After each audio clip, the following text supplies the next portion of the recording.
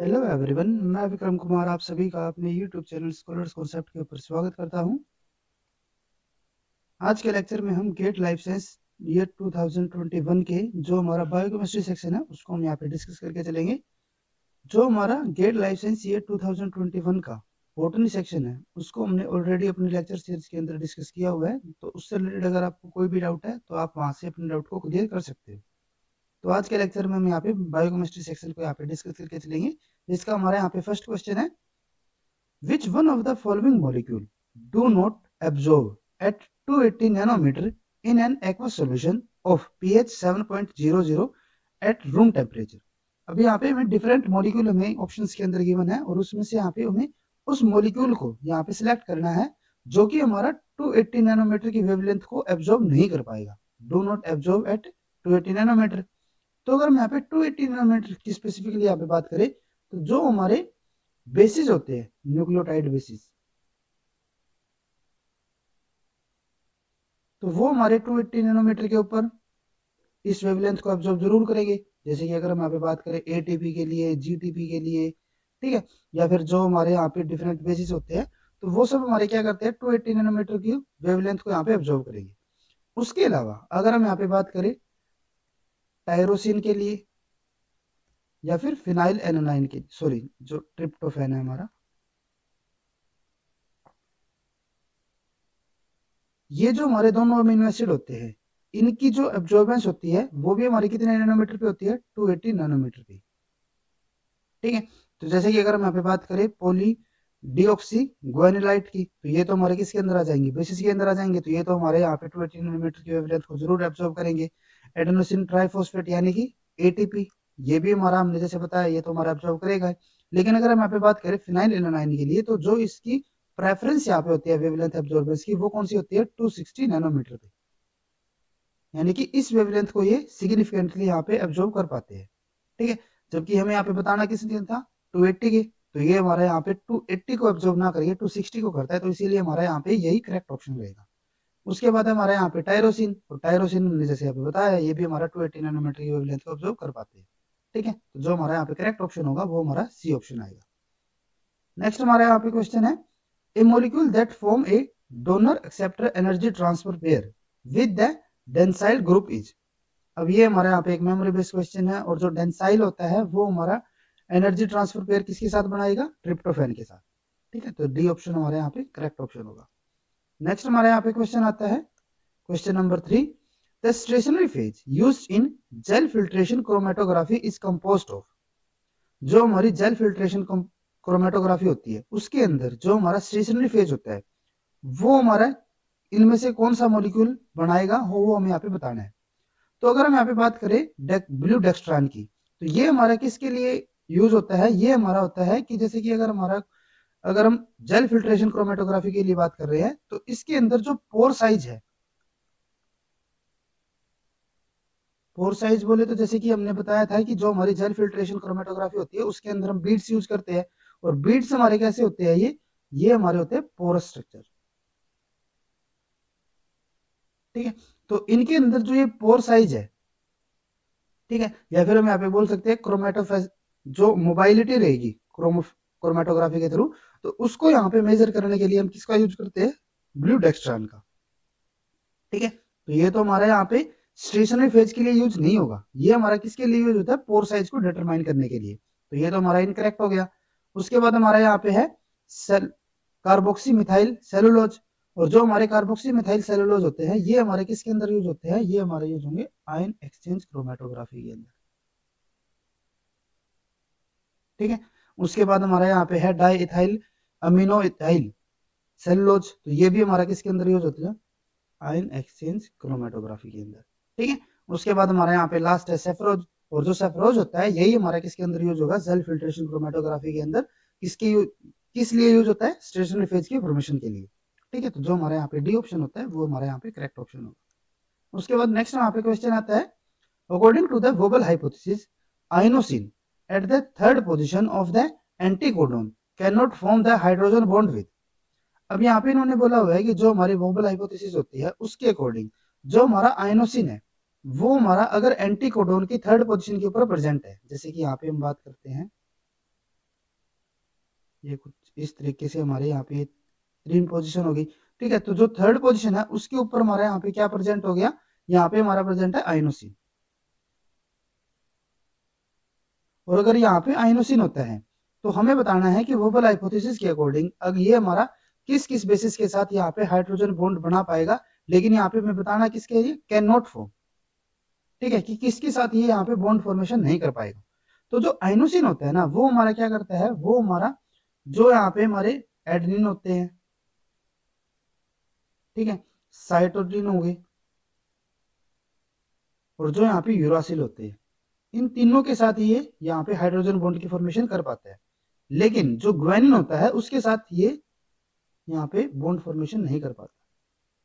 ठीक है, यानी कि जो हमारे यहाँ पे सी ऑप्शन होगा, वही हमारे यहाँ पे करेक्ट ऑप्शन उसके बाद नेक्स्ट हमारे यहाँ पे क्वेश्चन है P K value of guanidinium group of arginine is अब यहाँ पे हमें जो अर्जिनिन हमारा अमीनो एसिड है, उसके अंदर जो हमारा यहाँ पे ग्वेनिडीनियम ग्रुप रहता है, जैसे कि यहाँ पे हमारा ये अर्जिनिन का स्ट्रक्चर हमने शो किया है तो इसके अंदर ये वाला जो हमारा यहाँ पे ग्रुप होगा, ये हमारा कौन सा जाएगा यहाँ पे ग्वेनेडिनो या फिर हम इसको यहाँ पे ग्वेनेडिनम ग्रुप भी बोल सकते हैं। ठीक है और एक तरीके से अगर हम अमीनो एसिड के लिए बात करें तो ये हमारा क्या हो जाएगा? जो हमारी साइड चेन या फिर जो हमारा आर ग्रुप यहाँ पे होता है, ये हमारा क्या हो जाएगा यहाँ पे? जो साइड चेन हमारी होती है, ठीक है? तो उसकी हमें यहाँ पे पी के वैल्यू बतानी है। अब अगर हम यहाँ पे नॉर्मली सभी अमीनो एसिड की अगर पी के वैल्यू याद करने लग जाए तो वो हमारा यहाँ पे बहुत ही ज़्यादा टाइम लगेगा, ठीक है? तो उसके बजाय यहाँ पे अगर हम एलिमिनेशन मेथड को यूज़ करते हैं, जैसे कि अगर हम यहाँ पे बात करें आर्जिनिन के लिए तो ये हमारा कैसा अमीनो एसिड होगा? ये हमारा होता है एक बेसिक अमीनो एसिड ठीक है? ये क्या हो गया यहाँ पे? बेसिक अमीनो एसिड और अगर हम बेसिक अमीनो एसिड के लिए बात करें तो उनके अंदर जो हमारी साइड चैन होती है, जो साइड चैन होगी, उसकी जो पी की वैल्यू होती है, वो हमारी क्या होगी? More than seven more than seven होगा। ठीक है? तो यानी कि जो हमारे यहाँ पे 4.3 या फिर जो 7.4 है, इन दोनों को हम यहाँ पे एलिमिनेट कर सकते हैं, क्योंकि ये वैल्यू हमारी सेवन के आसपास ही है। ठीक है? तो ये तो हमारे यहाँ पे एलिमिनेट हो गए उसके बाद हमारे पास यहाँ पे दो वैल्यूज़ बचती है, एक हमारा 9.2 है और एक हमारे यहाँ पे 12.5 है। अब अगर हम बात करें यहाँ पे जो हमारा अमीनो एसिड नॉर्मली होते हैं तो उसके अंदर हमारे जैसे कि दो ग्रुप होते हैं, जैसे कि ये हमारा यहाँ पे कार्बन हो गया सेंट्रल कार्बन यहाँ पे हमारा हाइड्रोजन यहाँ पे हमारा होता है जैसे कि अमीनो ग्रुप और यहाँ पे हमारा हो जाता है कार्बोक्सिल ग्रुप। और ये हमारे यहाँ पे साइड चेन ठीक है? तो जो हमारा अमीनो ग्रुप होता है, इसकी जो पी के वैल्यू होती है, वो हमारी नाइन के अप्रोक्स रहती है। दूसरी तरफ़ अगर हम यहाँ पे कार्बोक्सिल ग्रुप के लिए बात करें तो इसकी जो पी के वैल्यू होती है, वो हमारी टू के आसपास रहती है। तो यानी कि जो हमारा यहाँ पे अमीनो ग्रुप होगा, ठीक है? उसकी वैल्यू क्या रहेगी? ऑरिजिनल के अंदर भी नाइन के आसपास। तो यानी कि ये वाली तो हमारी कौन सी वाली हो जाएगी? जो हमारी अमीनो ग्रुप की होगी तो ये बचती हुई हमारी वैल्यू कौन सी हो जाएगी? जो हमारी साइड चेन की होगी। ठीक है? तो यानी कि जो हमारे यहाँ पे डी ऑप्शन होगा, वही हमारे यहाँ पे करेक्ट ऑप्शन है।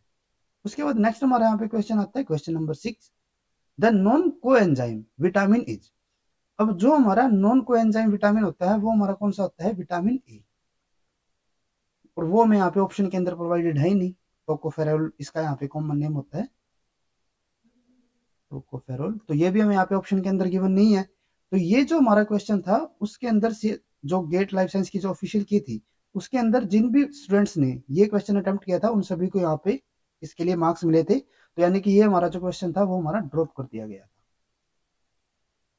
ठीक है? तो इसके लिए हमारे यहाँ पे जो कोई भी इनमें से करेक्ट ऑप्शन यहाँ पे नहीं है। जो करेक्ट ऑप्शन होना चाहिए था वो हमारा कौन सा होगा? विटामिन ई e, यानी कि टोकोफेरल ठीक है? उसके बाद नेक्स्ट हमारे यहाँ पे क्वेश्चन आता है telomerase has a function similar to जो हमारा टीलोमिरेज एंजाइम होता है टीलोमिरेज एंजाइम हमारा कहाँ पे हेल्प करेगा? ये हमारा करता है टीलोमियर। टीलोमियर क्या होता है? जो हमारा क्रोमोसोम्स है, उसकी जो एंड पोर्शन होता है, उसको हम क्या बोलते हैं? टीलोमियर। तो टीलोमियर रेप्लीकेशन के अंदर हमारा कौन सा एंजाइम यूज़ होता है? ये हमारा यहाँ पे यूज़ होगा टीलोमिरेज। ठीक है? अब क्योंकि ये रेप्लीकेशन में हमारी हेल्प कर रहा है तो रेप्लीकेशन का मतलब क्या हो जाएगा? ये हमारे यहाँ पे डीएनए पोलिमरेज में हेल्प करेगा। इतना क्लियर हो चुका है। ठीक है? और एक्चुअल में जो टीलोमेरेज होता है ना, ये हमारा क्या करता है? जो टीलोमियर के ऊपर, कई बार हमारा एक कॉन्सेप्ट आता है एंड रेप्लीकेशन प्रॉब्लम का। यानी कि जो एंड्स के ऊपर रेप्लीकेशन होनी है, वहाँ पे रेप्लीकेशन जो नॉर्मल हमारे पोलिमरेज होते हैं, वो हमारे नहीं कर पाते। तो वहाँ पे टीलोमेरेज क्या करता है? टीलोमरेज के अंदर हमारे कुछ आरएनए स्ट्रक्चर होते हैं। और इन आरएनए स्ट्रक्चर का यूज़ करके जो टीलोमियर पोर्शन है, वहाँ पे क्या होता है? डीएनए सिंथेसिस होती है। तो यानी कि ये किसका यूज़ करेगा? आरएनए का। ठीक है? तो एक तरीके से जो हमारे टीलोमेरेज है, ये हमारे क्या हो जाते हैं? आरएनए डिपेंडेंट क्योंकि आरएनए के ऊपर डिपेंड है, डीएनए के तो ऊपर ये डिपेंड है नहीं। ठीक है? इनको टेम्पलेट की ज़रूरत यहाँ पे नहीं पड़ती। ये हमारे डीएनए टेम्पलेट्स को यूज़ नहीं करते। ठीक है? टेम्पलेट नॉट यूज़ ठीक है? तो ये क्या करेंगे? खुद का जो आरएनए स्ट्रक्चर होंगे उनको यूज़ करके यहाँ पे डीएनए की सिंथेसिस करते हैं। तो इसीलिए ये हमारे किस नेचर के हो जाते हैं? आरएनए डिपेंडेंट डीएनए पॉलीमरेज, यानी कि आरएनए को यूज़ करके ये किसकी सिंथेसिस कर रहे हैं? डीएनए की सिंथेसिस कर रहे हैं। और सिमिलर एक्टिविटी के ऑप्शन को यहाँ पे हमें सिलेक्ट करना है। तो अगर हम यहाँ पे फ़र्स्ट ऑप्शन को देखते हैं तो ये मैं यहाँ पे क्या दिया हुआ है? डीएनए डिपेंडेंट जबकि हमने क्या बताया, ये हमारा आरएनए डिपेंडेंट होता है। तो ये तो हमारा इनकरेक्ट हो गया। नेक्स्ट यहाँ पे है आरएनए पॉलीमरेज। आरएनए पॉलीमरेज भी नहीं होगा। ये हमारा क्या होता है? डीएनए पॉलीमरेज होता है। उसके बाद यहाँ पे है डीएनए गायरेज। और डीएनए गायरेज से रिलेटेड तो हमारा इनका कुछ काम है नहीं यहाँ पे। तो ये भी इनकरेक्ट है। लास्ट हमारे यहाँ पे है रिवर्स ट्रांसक्रिप्टेज तो जो रिवर्स ट्रांसक्रिप्टेज होते हैं, ये हमारे क्या करते हैं? ये हमारे सिंथेसिस करवाते हैं आरएनए से डीएनए की। जैसे कि यहाँ पे भी हमने बताया, ये क्या कर रहे हैं? आरएनए से डीएनए की सिंथेसिस कर रहे हैं। तो यानी कि जो हमारा डी ऑप्शन होगा, यही हमारे यहाँ पे करेक्ट ऑप्शन है। उसके बाद नेक्स्ट हमारे यहाँ पे क्वेश्चन आता है question number eight which one of the following enzyme is use in polymerase chain reaction यानी कि पीसीआर के अंदर हमारा कौन सा इनमें से एंजाइम हमारा यूज़ होगा? तो वो तो हमारा एक मेमोरी बेस्ड क्वेश्चन आ जाता है, यानी कि जो हमारा टेक पोलिमरेज होगा, यही हमारा पीसीआर के अंदर यूज़ होता है, क्योंकि ये हाई टेम्परेचर के ऊपर भी फंक्शनल रहता है, ठीक है? तो ये ऑप्शन हमारा यहाँ पे बी ऑप्शन करेक्ट रहेगा। उसके बाद नेक्स्ट हमारे यहाँ पे क्वेश्चन आता है question number nine in hepatocyte that detoxification of drugs occur in अब ये पॉइंट आपको यहाँ पे ध्यान में रखना है कि जो हमारे ड्रग्स की डिटॉक्सिफिकेशन होती है, वो हमारे किसके अंदर होगी? एससीआर के अंदर स्मूथ एंडोप्लाज्मिक रेटिकुलम के अंदर, यानी कि जो हमारा डी ऑप्शन है, वही हमारे यहाँ पे करेक्ट ऑप्शन होगा। उसके बाद नेक्स्ट यहाँ पे क्वेश्चन आता है which one of the following antibiotic can form an ion channel in the bacterial membrane तो जो हमारा यहाँ पे ग्रेमिसिडिन ए हमें दिया हुआ है, ये हमारा क्या करता है कि ये हमारा बैक्टीरिया के अंदर, जिसको भी इसको किल करना होता है, उसके अंदर ये क्या कर देता है, वहाँ पे एक आयन चैनल की फॉर्मेशन कर देती है ये। डिफरेंट आयन चैनल की, एक की नहीं, बहुत सारे आयन चैनल्स की यहाँ पे फॉर्मेशन कर देगी, जिससे कि जो सेल मेम्ब्रेन है उसकी जो खुद का जो नेचर रहेगा, ठीक है, वो क्या हो जाएगा, वहाँ पे डिस्टर्ब हो जाएगा। जो वहाँ पे एक्सटर्नल जो इन्वायरमेंट है और जो इंटरनल जो इन्वायरमेंट होगा बैक्टीरिया का, वो भी क्या हो जाएगा, वहाँ पे डिस्टर्ब हो जाएगा, जिससे कि सेल डेथ हो जाती है। ठीक है? तो यानी कि जो हमारे यहाँ पे बी ऑप्शन होगा, यही हमें यहाँ पे बताना था कि आयन चैनल हमारा कौन सा यहाँ पे एंटीबायोटिक बढ़ाएगा तो वो हमारा कौन सा बनाता है यहाँ पे? जो हमारा ग्रामिसिडिन ए होगा, यानी कि जो हमारा बी ऑप्शन है, वही हमारे यहाँ पे करेक्ट ऑप्शन होगा। उसके बाद नेक्स्ट हमारे यहाँ पे क्वेश्चन आता है question number eleven which one of the following cell lack hypoxanthine guanine phosphoribosyl transferase HP HGPRT तो जो हमारे माइलोमा सेल्स होते हैं, इनके पास हमारी एच एक्टिविटी नहीं होती। ठीक है? तो यानी कि जो हमारे यहाँ पे डी ऑप्शन होगा, वही हमारे यहाँ पे करेक्ट है। उसके बाद नेक्स्ट हमारे यहाँ पे क्वेश्चन आता है which one of the one of the following lipid is non ionic यहाँ पे हमें उस ऑप्शन को सिलेक्ट करना है, उस लिपिड को यहाँ पे सिलेक्ट करना है, जो कि हमारा नॉन आयनिक हो। यहाँ पे इन्होंने न्यूट्रल के लिए नहीं बोला हुआ। एक तो हमारा यहाँ पे न्यूट्रल होता है। न्यूट्रल नहीं, यहाँ पे हमारा नॉन आयनिक यानी कि उसके ऊपर हमारा कोई चार्ज होना ही नहीं चाहिए। न्यूट्रल के अंदर तो क्या हो सकता है कि जैसे कि हमारा अगर ज्विटर आयन की हम बात करें, ठीक है? तो ज्विटर आयन में क्या होता है कि वहाँ पे हमारे दो अलग अलग हमारे ग्रुप होती है। एक हमारा पॉजिटिव भी होगा नेगेटिव भी होगा, और जो नेट चार्ज होगा वो हमारा ज़ीरो हो जाता है। तो यहाँ पे ये तो हमारा न्यूट्रल हो गया। लेकिन इसके ऊपर वैसे तो ओवरऑल चार्ज है ही नहीं हमारी। पॉजिटिव भी है नेगेटिव भी है। लेकिन नॉन आयनिक का मतलब क्या हो जाता है कि उसके ऊपर हमारा कोई भी चार्ज नहीं होता। और जो हमारा नॉन आयनिक लिपिड होता है, वो हमारा कौन सा होता है? ग्लेप्टोसेरेब्रोसाइड ठीक है?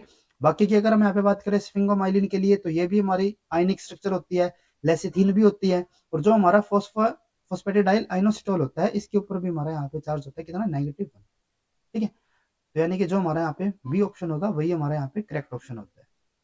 नेक्स्ट हमारे यहाँ पे क्वेश्चन आता है anti B antibodies are present in the serum of जो हमारी एंटी बी एंटीबॉडीज है, वो हमें किस ब्लड ग्रुप या फिर किस सिरम के अंदर हमें देखने को मिलती है, वो हमें यहाँ पे सिलेक्ट करना है।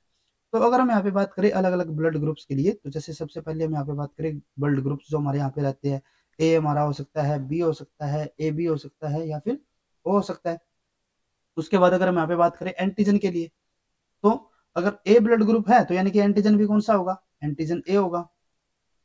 एंटीजन ए यहाँ पे एंटीजन बी यहाँ पे एंटीजन ए बी यानी कि ए और बी दोनों ही एंटीजन यहाँ पे प्रेजेंट होंगे और यहाँ पे हमारा कोई भी एंटीजन प्रेजेंट नहीं होता।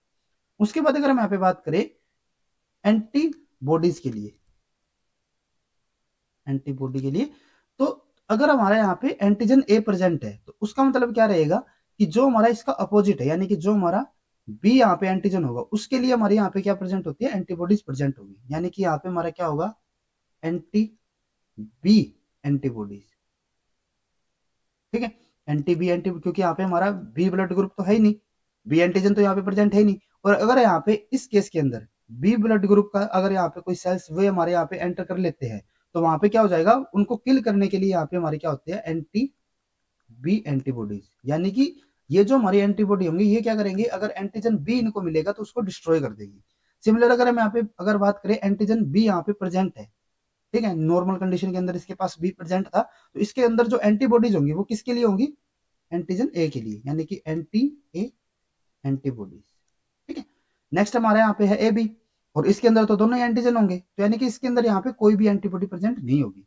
जबकि अगर हम यहाँ पे बात करें ओ के लिए तो ओ के अंदर कोई भी यहाँ पे एंटीजन प्रेजेंट नहीं है तो इसका मतलब क्या होता है कि यहाँ पे एंटी ए एंटीबॉडी भी होगी, और एंटी बी एंटीबॉडीज भी होगी. दोनों यहाँ पे एंटीबॉडी में यहाँ पे देखने को मिलती है तो यहाँ पे मैं किसको सिलेक्ट कर रहा था जिसके अंदर हमारी एंटी बी एंटीबॉडीज हो तो यहाँ पे हमारी एंटी बी एंटीबॉडीज हो गई यहाँ पे नहीं है यहाँ पे एंटी ए वाली थी यहाँ पे कोई भी नहीं है यहाँ पे हमारे ओ के अंदर फिर से हमारे एंटी ए और एंटी बी दोनों ही है तो हमें यहाँ बी के लिए सिलेक्ट करना था तो यहाँ पे हमारी एंटी बी एंटीबॉडीज प्रेजेंट रहेगी ठीक है तो यानी कि जो हमारा ए और ओ ब्लड ग्रुप होगा वहाँ पे हमें ये वाली एंटीबॉडी हमें देखने को मिलती है और ये जो हमारा क्वेश्चन है, ये हमारा एमएसक्यू टाइप का है। यानी कि हमारे यहाँ पे मल्टीपल सिलेक्शन मल्टीपल ऑप्शन हमारे यहाँ पे करेक्ट हो सकते हैं। तो इसीलिए जो हमारा यहाँ पे करेक्ट ऑप्शन होंगे, वो हमारे कौन कौन से होंगे? जो हमारा यहाँ पे ए ऑप्शन है और जो हमारे यहाँ पे डी ऑप्शन होगा। ठीक है? नेक्स्ट हमारे यहाँ पे क्वेश्चन आता है which one of the following are energy requiring process यहाँ पे हमें डिफरेंट प्रोसेस हमें दी हुई है और उसमें से यहाँ पे हमें उन ऑप्शन को सिलेक्ट करना है, जो इसके लिए हमें एनर्जी की रिक्वायरमेंट रहेगी। तो सबसे पहले हमारे यहाँ पे बात करते हैं हम फैसिलिटेटेड डिफ्यूजन के लिए। तो जो फैसिलिटेटेड डिफ्यूजन होता है, वो हमारा कैसा होता है? वो हमारा होगा high concentration to high concentration से लो कंसेंट्रेशन की तरफ़। ठीक है? और ये भी कैसे होता है? यहाँ पे हमारे कुछ कैरियर प्रोटीन्स होते हैं, जो कि क्या करेंगे? इन मोलिक्यूल्स की, जो कि जिनकी हाई कंसेंट्रेशन यहाँ पे है, उनकी लो कंसेंट्रेशन की तरफ़ मूवमेंट को क्या करेंगे? इनहेंस करेंगे। ठीक है? तो इसके लिए यहाँ पे किसी एनर्जी की या फिर किसी एटीपी की यहाँ पे ज़रूरत नहीं पड़ती। ठीक है? तो यहाँ पे तो हम एनर्जी की ज़रूरत नहीं पड़ रही। और अगर हम यहाँ पे बात करें एक्टिव ट्रांसपोर्ट के लिए तो एक्टिव ट्रांसपोर्ट तो खुद यहाँ पे खुद जो इसकी नॉर्मल डेफिनेशन होती है, उसी में हम यहाँ पे बताते हैं कि जो एक्टिव ट्रांसपोर्ट होता है, उसके लिए हमें यहाँ पे एटीपी की ज़रूरत ज़रूर पड़ेगी। एनर्जी की ज़रूरत यहाँ पे पड़ती है। तो यानी कि यहाँ पे तो हमारी एनर्जी की ज़रूरत पड़ेगी। और ये जो हमारा क्वेश्चन है, ये फिर से हमारा किस टाइप का है? एमएसक्यू टाइप ठीक है? तो जो हमारे क्वेश्चन पेपर आएगा, उसके अंदर हमें अलग से गिवन होता है कि जैसे कि ये जो हमारा क्वेश्चन नंबर है, उसके अंदर हमें गिवन होता है कि ये हमारा एमएसक्यू टाइप का क्वेश्चन है तो वहाँ पे आपको ध्यान में रखना है। कि एमएसक्यू के अंदर हमारे मल्टीपल ऑप्शन हमारे करेक्ट हो सकते हैं। ठीक है, ऐसा नहीं है कि वहाँ पे हमारे सिर्फ़ एक ही ऑप्शन करेक्ट हो, बाकी भी ऑप्शन हमारे करेक्ट हो सकते हैं तो उन सभी ऑप्शन को हमें यहाँ पे टिक करना पड़ेगा सिलेक्ट करना पड़ेगा। तो यहाँ पे हमारा एक्टिव ट्रांसपोर्ट तो हो जाता है। उसके बाद हमारे यहाँ पे है नॉन मेडिएटेड ट्रांसपोर्ट तो नॉन मेडिएटेड ट्रांसपोर्ट हमारे क्या होता है? जैसे हमने यहाँ पे बताया फैसिलिटेड डिफ्यूजन के अंदर, यहाँ पे हमारे जो डिफ्यूजन है वो हमारा कहाँ से होता है? High concentration to low concentration लेकिन यहाँ पे हमारे क्या होते थे? कैरियर प्रोटीन्स होते थे। और जो हमारा नॉन मेडिएटेड ट्रांसपोर्ट होता है इसके अंदर हमारा कोई भी यहाँ पे कैरियर या फिर हमारे ट्रांसपोर्टर यहाँ पे यूज़ नहीं होते ठीक है यहाँ पे हमारे नॉर्मल प्रोसेस ही चलती है तो यानी कि यहाँ पे भी हमें एटीपी की ज़रूरत नहीं पड़ेगी उसके बाद हमारे यहाँ पे है सोडियम पोटेशियम ट्रांसपोर्ट और इसके लिए तो हमारे यहाँ पे एनर्जी की ज़रूरत हमें बिल्कुल पड़ती है ये तो हमारा आएगा इसी के अंदर ठीक है तो यानी कि जो हमारे बी और डी यहाँ पे होते हैं इन दोनों के लिए यहाँ पे हमें एनर्जी की ज़रूरत पड़ रही है तो इसीलिए यही दोनों हमारे यहाँ पे करेक्ट ऑप्शन रहेंगे उसके बाद नेक्स्ट हमारे यहाँ पे आता है which one of the following are correctly pair यहाँ पे हमें करेक्टली पेयर को यहाँ पे सिलेक्ट करना है। तो सबसे पहला हमारे यहाँ पे हमें गिवन है रेप्लीकेशन और उसके लिए हमारा यहाँ पे है डीएनए ए तो ये तो हमारा बिल्कुल करेक्ट होगा क्योंकि जो हमारा डीएनए ए होता है, ये हमारा किसके अंदर हेल्प करता है? जो हमारी रेप्लीकेशन का ओरिजिन साइट जो होती है, उसको डिटेक्ट करने के अंदर। ठीक है? उसकी डिटेक्शन या फिर उसकी आइडेंटिफिकेशन के लिए, उसको रिकॉग्नाइज करने के लिए हमारे कौन करेगा यहाँ पे? डीएनए ए तो यानी कि ये तो हमारा करेक्ट पेयर होगा। उसके बाद यहाँ पे है रिकम्बिनेशन जिसके लिए रैक ए और रैक ए के लिए मैंने आपको पहले ही बताया था रैक का मतलब यहाँ पे क्या होता है रिकम्बिनेशन ठीक है? तो यानी कि ये भी हमारा करेक्ट होगा। उसके बाद हमारा नेक्स्ट यहाँ पे आता है डीएनए रिपेयर और उसके लिए यहाँ पे हमें क्या गिवन है रो फैक्टर रो फैक्टर हमारे डीएनए रिपेयर के अंदर यूज़ नहीं होते, जबकि ये हमारे किसके अंदर होते हैं? ये हमारे यूज़ होंगे ट्रांसक्रिप्शन के अंदर। ये हमारे किसके अंदर होंगे? ट्रांसक्रिप्शन के अंदर। तो ये तो हमारा इनकरेक्ट पेयर हो गया। ठीक है? नेक्स्ट हमारे यहाँ पे है ट्रांसक्रिप्शन सिग्मा फैक्टर और ये हमारा बिल्कुल करेक्ट होगा, क्योंकि जो हमारे सिग्मा फैक्टर होते हैं, वो हमारे ट्रांसक्रिप्शन के अंदर हेल्प करते हैं। एक्चुअल में होता क्या है कि जो हमारे सिग्मा फैक्टर होते हैं, ये हमारे किसके अंदर हेल्प करते हैं? ये हमारे हेल्प करेंगे ट्रांसक्रिप्शन की इनिशिएशन के अंदर। और जो हमारे रो फैक्टर होते हैं, ये हमारे किसके अंदर हेल्प करते हैं? ट्रांसक्रिप्शन टर्मिनेशन के अंदर। ठीक है? तो ये हमारे यहाँ पे करेक्ट होगा, यानी कि जो हमारे ए बी और डी ये तीनों ही ऑप्शन हमारे यहाँ पे करेक्ट है, और क्योंकि ये हमारा भी एमएसक्यू टाइप क्वेश्चन था तो इसीलिए तीनों ही ऑप्शन हमारे यहाँ पे करेक्ट रहेंगे। तीनों ही हमें यहाँ पे टिक करने पड़ेंगे। नेक्स्ट हमारे यहाँ पे आता है the high energy compound is और आर ठीक है? और ये भी हमारा कैसा है? एमएसक्यू टाइप क्वेश्चन है। तो यहाँ पे हमारे मल्टीपल ऑप्शन हमारे यहाँ पे सिलेक्ट हो सकते हैं। तो हमें यहाँ पे बताना कौन से है? हाई एनर्जी कंपाउंड हमें यहाँ पे सिलेक्ट करने हैं। हाई एनर्जी कंपाउंड की अगर हम यहाँ पे नॉर्मली बात करें तो हमारे वे कौन से कंपाउंड होते हैं, जिससे कि हमारी डायरेक्टली एटीपी की सिंथेसिस हो जाए? जैसे कि अगर हम यहाँ पे बात करें फोस्फेनॉल पायरोवेट के लिए तो जब हमारा फोस्फेनॉल पायरोवेट हमारा कन्वर्ट होता है पायरोवेट के अंदर। ठीक है? तो ये हमारा क्या करता है? ये यहाँ से हमारा फोस्फेट रिलीज़ होता है, जो कि हमारा एडीपी से बाउंड होगा। ठीक है? और एटीपी से बाउंड होकर ये हमारा क्या कर देता है? यहाँ पे एटीपी की फॉर्मेशन यहाँ पे करता है। तो ये हमारा क्या होता है? हाई एनर्जी मोलिक्यूल नेक्स्ट हमारे यहाँ पे है एडोनोसिन मोनोफोस्फेट अब यहाँ पे हमें ध्यान में रखना है कि यहाँ पे इन्होंने मोनोफोस्फेट बोला हुआ है।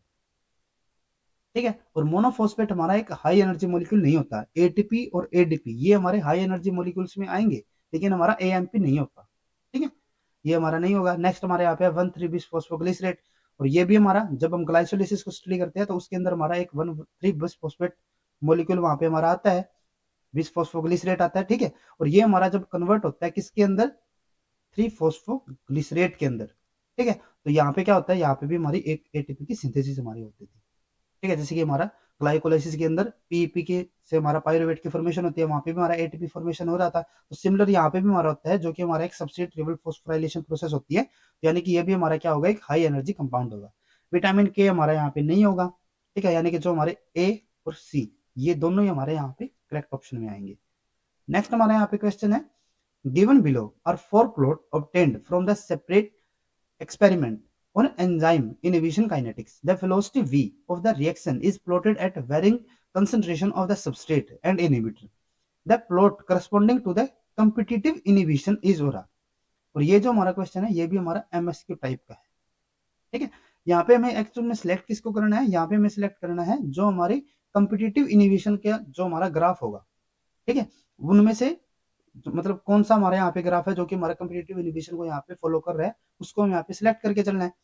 तो अगर हम यहाँ पे कंपिटेटिव इनिबिशन के लिए बात करें तो उसके अंदर हमारा होता क्या है कि यहाँ पे हमारी जो वी मैक्स होती है, वो हमारी यहाँ पे सेम रहेगी। और जो के एम यहाँ पे होता है, वो हमारा क्या हो जाता है, यहाँ पे डिक्रीज हो जाता है। ठीक है? अब यहाँ पे मैं उन ग्राफ को सिलेक्ट करना है, जो कि हमारे कंपिटेटिव इनिबिशन के लिए यहाँ पे करेक्ट रहेंगे। तो जो हमारे लाइन वीवर वर्ग, जो हमारा प्लॉट रहता है लाइन वीवर वर्क ठीक है? तो उसको अगर हम यहाँ पे फॉलो करके चले तो जो हमारा यहाँ पे थर्ड ऑप्शन होगा, ये हमारा करेक्ट होता है, क्योंकि लाइन वीवर वर्क के अंदर हमारा क्या होता है कि हम one by V versus one by state concentration का यहाँ पे हम फॉलो करके चलते हैं, और उसी के अकॉर्डिंग यहाँ पे प्लॉट बनाते हैं। तो यहाँ पे हम देख सकते हैं वन बाई वी और वन बाई एस और यही हमारा पैटर्न यहाँ पे हमें देखने को मिलता है। ठीक है? तो ये तो हमारा क्या हो जाएगा यहाँ पे? करेक्ट हो गया, क्योंकि यहाँ पे हमारी जो के एम वैल्यू भी है, वो भी हमारी यहाँ पे क्या है? वो हमारी यहाँ पे सेम रहती है। सॉरी डिक्रीज हो जाती है। ये हमारी जो वी मैक्स वैल्यू होगी तो ये हमारी क्या हो जाएगी यहाँ पे? बाई वी मैक्स क्योंकि जो हमारी वन बाई वी होता है, ये हमारा किसको यहाँ पे शो करता है? वी मैक्स को यहाँ पे शो करता है। ठीक है? तो यहाँ पे ये हमारा सेम रहता है तीनों केसेस के अंदर। दूसरी तरफ़ अगर हम यहाँ पे बाकी ग्राफ्स के लिए अगर हम बात करें, यहाँ पे भी हमारा वन बाई वी और वन बाई एस तो ये तो हमारा इनकरेक्ट हो गया। उसके बाद यहाँ पे मैं जो बाकी के दो ग्राफ शो किए गए हैं, ये हमारा किसके लिए है? V versus V by S और ये भी हमारा V versus V by S और जो हमारा V versus v by S था जो हमारा यहाँ पे प्लॉट रहता है, वो हमारा कौन से इक्वेशन से हमारा यहाँ पे होता है? ए डी ऑफ़ टी जो हमारी इक्वेशन होती है। ठीक है? ये इक्वेशन हमारी क्या बनाती है? ये जो हमारा यहाँ पे प्लॉट रहेगा, वो हमारा क्या होता है? V versus v by S ठीक है? और उसके लिए जो हमारा प्लॉट का पैटर्न रहता है कंपिटेटिव इनिबिशन के लिए, वो हमारा कौन से टाइप का होता है? जो हमारे यहाँ पे फ़र्स्ट के अंदर में शो किया गया ये हमारा नहीं होगा। ठीक है क्योंकि यहाँ पे हम वैसे भी देख सकते हैं यहाँ पे हमारी कोई भी ऐसी वैल्यू नहीं है जो कि हमारे यहाँ पे फिक्स हो जैसे कि हमारा वी वाली वैल्यू भी यहाँ पे फिक्स नहीं आ रही जो हमारी वी वाई वी एस की है ये भी हमारे यहाँ पे वैल्यू फिक्स नहीं आ रही जबकि हमने क्या बताया था कि यहाँ पे हमारा एक वैल्यू यानी कि जो हमारी वी मैक्स है वो तो हमारे यहाँ पे सेम ही रहेगा वो हमारा कॉन्स्टेंट हो जाएगा ठीक है जैसे कि यहाँ पे भी हमारा कॉन्स्टेंट था और यहाँ पे भी हमारा कॉन्स्टेंट था ठीक है तो इससे भी यहाँ पे हम एलिमिनेट कर सकते हैं तो इसीलिए जो हमारा यहाँ पे ए और जो हमारा यहाँ पे सी होगा वन और थ्री ये दोनों ही जो ग्राफ होंगे, वे हमारे यहाँ पे करेक्ट एक्सप्लेनेशन होंगे कम्पिटेटिव इनिविशन के लिए। नेक्स्ट हमारे यहाँ पे क्वेश्चन आता है with respect to sodium dodecyl sulfate polyacrylamide gel electrophoresis, यानी कि STS PAGE which one which of the this statement is और आर ट्रू ये भी हमारा किस टाइप का है? एमएसक्यू टाइप का हमारा एक क्वेश्चन है। ठीक है? अब यहाँ पे हमें क्या बताना है? यहाँ पे हमें उन करेक्ट ऑप्शन को सिलेक्ट करना है जो कि हमारे एस टी एस पेज के कंसर्न में करेक्ट होंगे। तो यहाँ पे हमारा फ़र्स्ट क्या है? Ethidium bromide is use to track the progress of electrophoretic mobility तो ये जो हमारे यहाँ पे स्टेटमेंट है, ये हमारे यहाँ पे इनकरेक्ट होगी। ये हमारे इनकरेक्ट क्यों होते हैं? क्योंकि जो हमारा इथिडियम ब्रोमाइड है, ठीक है, वो हमारा किसके लिए यूज़ हम करते हैं? मेनली अगर हम यहाँ पे बात करें तो ये हमारा यूज़ करते हैं हम, जो हमारे डीएनए और आरएनए है, उनकी ट्रैकिंग के लिए। उनके अंदर क्या हो जाता है कि जो हमारा इथिडियम ब्रोमाइड है, वो हमारे यहाँ पे इंटरकैलेटिंग एजेंट की तरह यहाँ पे इनके साथ बाउंड हो जाता है। और उस बाद में हम क्या कर सकते हैं, जब हमारे बैंड को हमें स्टडी करना होता है तो वहाँ पे हम यूवी लाइट्स को यूज़ करके इन डीएनए बैंड्स को वहाँ पे हम इजिली आइडेंटिफाई कर सकते हैं। ठीक है? तो ये हमारा इलेक्ट्रोफोरेटिक मोबाइलिटी के लिए यूज़ ना होगी बल्कि हमारा किसके लिए होगा, जो हमारे न्यूक्लियोटाइड्स या फिर न्यूक्लियो एसिड होंगे, उनकी ट्रैकिंग के लिए हमारे यहाँ पे यूज़ होते हैं। तो ये तो हमारा इनकरेक्ट हो गया। नेक्स्ट हमारे यहाँ पे है beta mercaptoethanol is use to reduce the disulphide bond बिल्कुल करेक्ट है। बीटा मरकैप्टोइथेनॉल का यही तो काम होता है डाइसल्फाइड बॉन्ड को ये ब्रेक करता है। नेक्स्ट हमारे यहाँ पे है the protein migrate toward anode ये भी हमारा बिल्कुल करेक्ट है, क्योंकि यहाँ पे क्या होता है कि कैथोड टू एनोड हमारे जो प्रोटीन्स है, वो हमारे माइग्रेट करते हैं। ठीक है? तो जो हमारे बी और सी है, ये हमारे अभी तक यहाँ पे करेक्ट ऑप्शन आ रहे हैं। नेक्स्ट हमारे यहाँ पे है the lower molecular weight protein migrate slower than the larger molecular weight protein तो ये हमारे यहाँ पे इनकरेक्ट होगा, क्योंकि जब हमारे यहाँ पे मूवमेंट होती है प्रोटीन्स की तो वहाँ पे क्या होगा? नॉर्मली भी हमारे यहाँ पे हम इसको प्रैक्टिकली एग्ज़ाम्पल से भी लेके चल सकते हैं कि अगर हमारे दो प्रोटीन्स है, एक हमारा ये वाला प्रोटीन हो गया, एक हमारा ये वाला प्रोटीन हो गया तो जो हमारी मूवमेंट होगी, ज़्यादा मूवमेंट किसकी होगी या फिर फास्ट मूवमेंट यहाँ पे किसकी होगी? जो हमारा यहाँ पे स्मॉल साइज़ का होगा। क्योंकि स्मॉलर साइज़ वाला यहाँ पे ज़्यादा मूव कर पाएगा, ज़्यादा स्पीडली यहाँ पे मूव कर पाएगा। जबकि किसी का अगर लार्ज साइज़ होता है तो उसकी जो यहाँ पे मूवमेंट होती है, वो हमारी कैसी होगी? यहाँ पे स्लो होगी। ठीक है? जबकि इन्होंने यहाँ पे इनकरेक्ट बोला हुआ इन्होंने यहाँ पे क्या बोला है कि जो हमारा लोअर मोलिकुलर वेट वाला प्रोटीन होगा, वो हमारा स्लो मूव करेगा। ठीक है? वो हमारा फास्ट मूव करेगा यहाँ पे। तो इसीलिए ये ऑप्शन भी हमारे यहाँ पे इनकरेक्ट होगा। तो जो हमारे बी और सी थे, वही हमारे यहाँ पे सिर्फ़ करेक्ट ऑप्शन में आएँगे। ठीक है? नेक्स्ट हमारे यहाँ पे क्वेश्चन आता है in plot given below the solid line represent oxygen binding to haemoglobin under physiological condition the broken line represent the condition of ये भी हमारा किस टाइप का क्वेश्चन है? एमएसक्यू टाइप का हमारा क्वेश्चन आता है, ठीक है?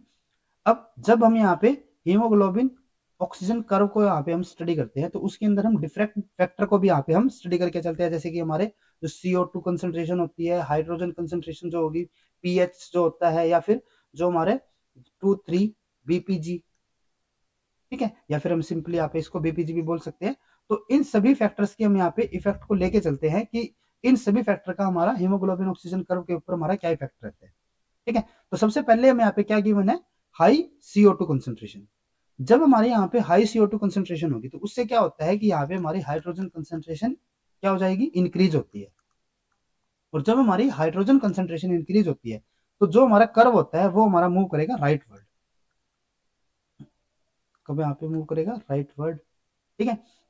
राइट वर्ड यानी कि इस तरफ़, जबकि इन्होंने यहाँ पे बोला क्या हुआ है कि जो हमारी ब्रोकल लाइन है, यानी कि जो ये वाली लाइन है, ये हमारी किसको शो कर रही है?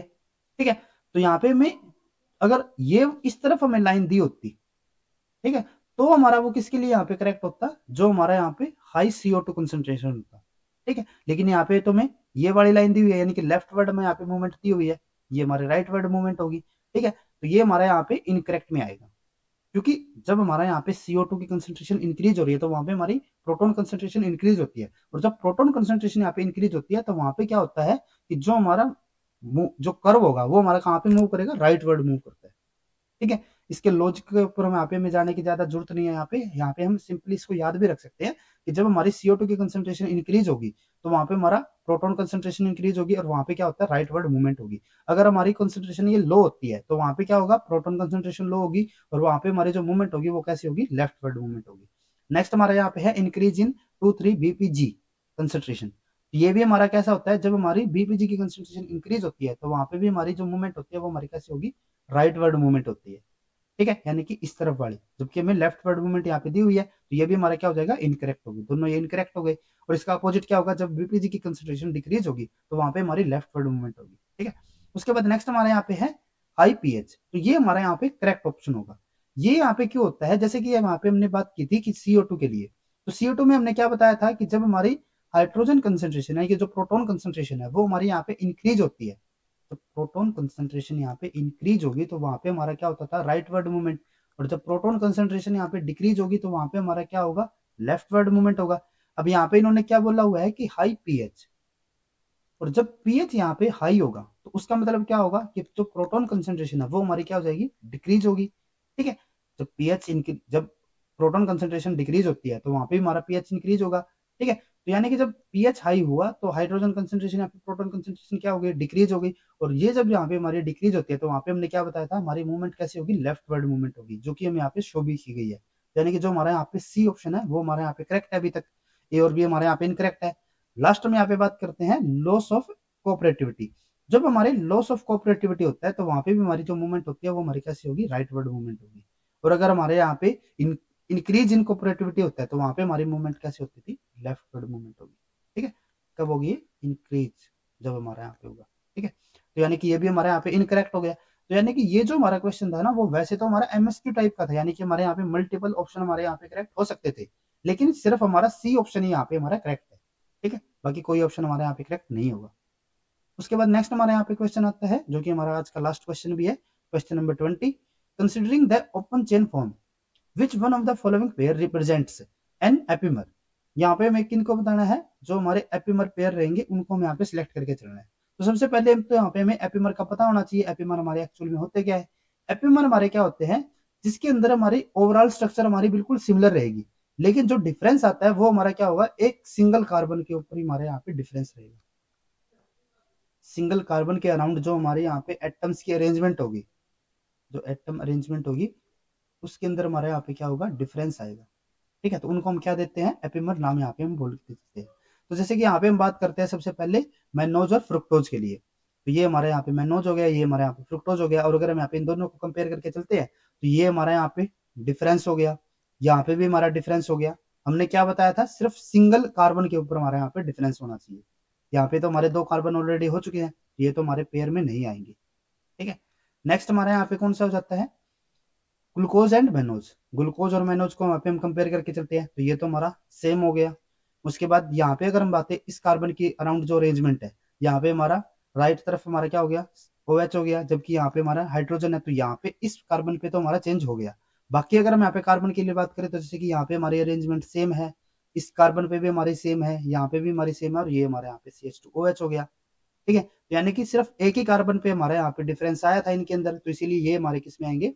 एपीमर के पेयर में आएँगे नेक्स्ट हमारा यहाँ पे आता है ग्लूकोज एंड फ्रुक्टोज नेक्स्ट हमारा कौन सा हो गया यहाँ पे ग्लूकोज एंड फ्रुक्टोज तो अगर हम यहाँ पे ग्लूकोज एंड फ्रुक्टोज को यहाँ पे अगर हम कंपेयर करके चलते हैं तो इसके अंदर हमारे यहाँ पे क्या रहेगा फ़र्स्ट हमारे यहाँ पे चेंज हो गया नेक्स्ट फिर से हमारे यहाँ पे चेंज हो जाता है और दो हमारे यहाँ पे ऑलरेडी चेंज हो चुकी है तो आगे में यहाँ पे चेक करने की ज़रूरत नहीं है यानी कि ये हमारा एपीमर में नहीं आएँगे ठीक है नेक्स्ट हमारे यहाँ पे आ जाता है ग्लेक्टोज एंड ग्लूकोज नेक्स्ट हमारे यहाँ पे कौन सा है ग्लेक्टोज एंड जो हमारा ग्लूकोज और गलेक्टोज है तो अगर हम यहाँ पे ग्लूकोज और गलेक्टोज की बात करें तो यहाँ पे हमारा सीएचओ ये भी हमारा क्या है यहाँ पे ओ ही है ठीक है ये हमारा ये होगा ना ठीक है तो ये तो हमारा यहाँ पे सेम है ये तो हमारा चेंज नहीं हुआ उसके बाद यहाँ पे है कार्बन ये हमारा कार्बन और इसके राइट वर्ड हमारे यहाँ पे ओ OH है यहाँ पे भी हमारा ओ OH है तो ये तो हमारा सेम रह गया उसके बाद यहाँ पे नेक्स्ट के लिए हम बात करें कार्बन के लिए तो यहाँ पे हमारा लेफ़्ट वर्ड हमारा यहाँ पे ओ OH हो गया यहाँ पे भी लेफ़्ट वर्ड हमारा यहाँ पे ओ OH है तो ये भी हमारा करेक्ट हो गया उसके बाद नेक्स्ट हमारे यहाँ पे क्या आ जाता है ये हमारा यहाँ पे है कार्बन और इसके अंदर हमारे जो हाइड जो हमारे हाइड्रोक्सिल ग्रुप की अरेंजमेंट है वो हमारे यहाँ पे क्या हो गई चेंज हो गई तो ये वाला कार्बन हमारे यहाँ पे एक दूसरे से चेंज आ रहा है नेक्स्ट हमारे यहाँ पे कार्बन और यहाँ पे हमारे राइट वर्ड ओ एच यहाँ पे भी राइट वर्ड ओ एच ये भी हमारे यहाँ पे सेम होगी और ये हमारे यहाँ पे C H two O H यानी कि हमारे यहाँ पे जो चेंज आया है वो हमारा किस पे आया है सिर्फ़ हमारा एक ही कार्बन के ऊपर आया है तो इसीलिए ये भी हमारे किसके अंदर आएँगे? एपिमरिक पेयर के अंदर आएँगे। ठीक है? यानी कि जो हमारा गलेक्टोज और ग्लूकोज है, ये भी हमारे क्या है? एपिमर है। तो यानी कि जो हमारे यहाँ पे बी और जो डी ऑप्शन है, ये दोनों ही हमारे यहाँ पे करेक्ट ऑप्शन में आएँगे। ठीक है? तो आज के लेक्चर में बस इतना ही। अगर आपको ये वीडियो हमारी यूजफुल लगी तो please like and share this video और गेट लाइफ साइंस से रिलेटेड इसी तरीके के इंपॉर्टेंट कॉन्सेप्ट्स और पीवाई करने के लिए please subscribe to our YouTube channel scholars concepts thank you